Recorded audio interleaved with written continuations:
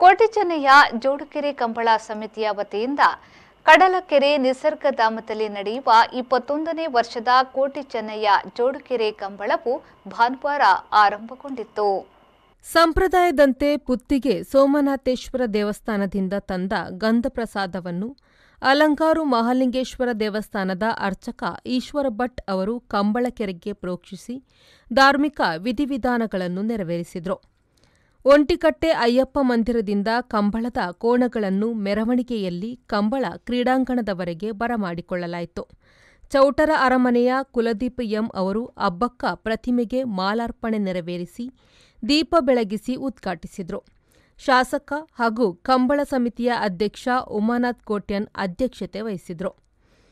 Rotary ಕ್ಲಬ್ನ ಅಧ್ಯಕ್ಷ Nagaraj B ಸಭಾವೇದಿಕೆಯನ್ನು ಉದ್ಘಾಟಿಸಿದರು.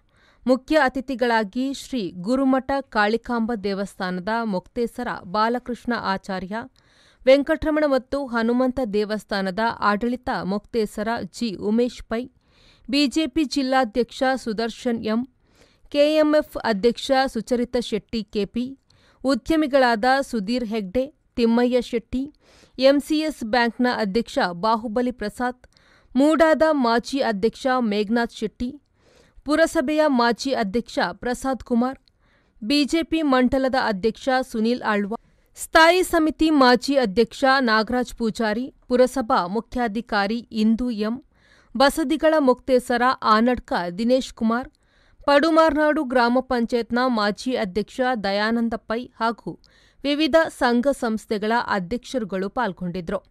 ಸಮಿತಿಯ ಕೋಶಾಧಿಕಾರಿ ಭಾಸ್ಕರ್ ಎಸ್ ಕೋಟ್ಯಾನ್ ಪ್ರಧಾನ ಕಾರ್ಯದರ್ಶಿ ಗುಣಪಾಲ್ ಕಡಂಬ ಕಾರ್ಯದರ್ಶಿ ರಂಜಿತ್ ಪೂಜಾರಿ ವೇದಿಕೆಯಲ್ಲಿ ಉಪಸ್ಥಿತರಿದ್ದರು.